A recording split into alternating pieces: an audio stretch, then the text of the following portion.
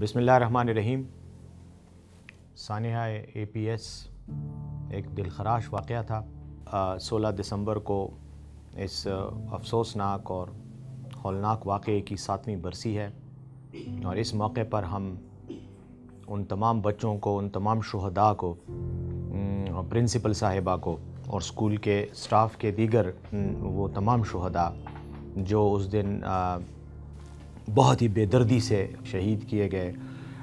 मैं सबसे पहले तो उनसे इजहार तज़ियत उनकी फ़ैमिली से करता हूँ, लेकिन दूसरी तरफ़ मैं ये भी कहना चाहूँगा कि ये जो कुर्बानी थी, इसने पाकिस्तानी कौम को मुतहद होने का इतिहाद का, इत्तेफाक का एक ऐसा लाजवाल दरस दिया कि जिसके नतीजे में तमाम कौम यक ज़ुबान होकर दहशत गर्दी के ख़ात्मे के लिए मुतहद हो गई और इसी के नतीजे में आज सातवीं बरसी के मौके पर हम देख रहे हैं कि पाकिस्तान में अमन की सूरत हाल बहुत बेहतर हो चुकी है दहशत गर्दों की कमर तोड़ दी गई है और आज हम इस इलाके में अमन की फ़िज़ा में सांस ले रहे हैं। इस पुरमन पाकिस्तान के लिए, इस महफूज पाकिस्तान के लिए हमें पाकिस्तान की फ़ौज का शुक्रगुज़ार होना चाहिए। पाकिस्तान की फ़ौज ने इस सिलसिले में और इस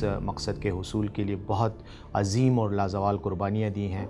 हज़ारों की तादाद में हमारे फ़ौजी जवान कानून नाफिज करने वाले दीगर इदारे, पुलिस एफ़ सी और उसके अलावा आवाम की एक बहुत बड़ी तादाद ने इस जंग में जानों की कुर्बानियाँ दी हैं। मैं समझता हूँ कि आज पाकिस्तान का जो इस्तेकाम है, पाकिस्तान में ये जो दहशत गर्दी का ख़ात्मा हुआ है और आवाम जो एक महफूज फ़िज़ा में सांस ले रहे हैं ये इन्हीं कुर्बानियों का नतीजा है।